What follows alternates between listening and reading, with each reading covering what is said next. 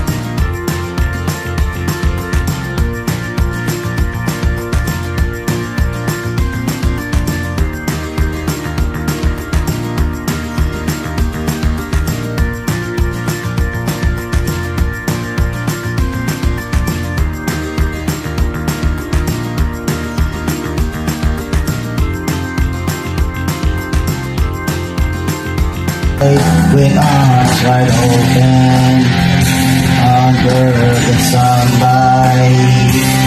Welcome to this place. I'll show you every